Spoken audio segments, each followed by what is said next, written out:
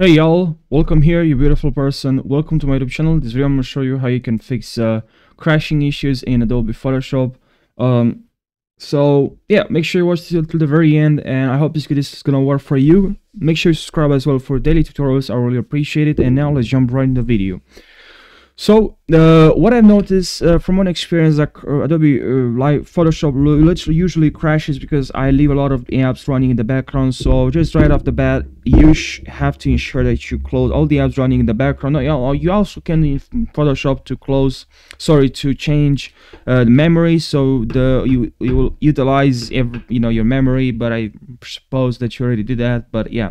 Now what you can do guys, just go to Task Manager and here go to Adobe Photoshop, just open Adobe Photoshop and then just click on Adobe Photoshop, right click, sorry, and then go to details and here in details.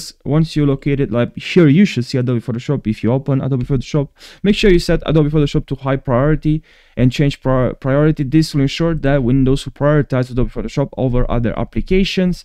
Now we need to make some optimizations for your computer because usually this crashes not because of on your computer i think from or because of your machines sometimes it's also for drivers. So one make sure you update your computer. Are advanced options optional updates and here in optional updates updates make sure you driver updates this is set to download and install and actually not set but you know just install all the drivers updates here update your computer as well geforce experience can update for here your drivers and if you have a GeForce experience, what I've noticed in uh, editing apps and you know Photoshop apps, in you know just Adobe Lightroom, I've just set this to Studio Driver instead of.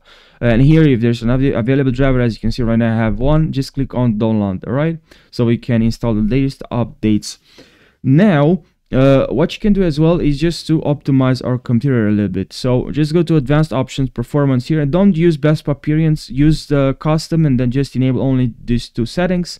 Also go to personalize and just in colors here turn off transparency. I know it looks better with transparency but i just believe me it will help you to uh, fix crashing. And also a very important thing go press on your keyboard Windows logo plus I and here in power and battery make sure this is set to best performance. So that's pretty much what you have to do guys. I really hope this uh, is going to help you so you can enjoy Adobe Lightroom. Thank you so much for watching and I hope you're gonna have a fantastic day. Uh, take care.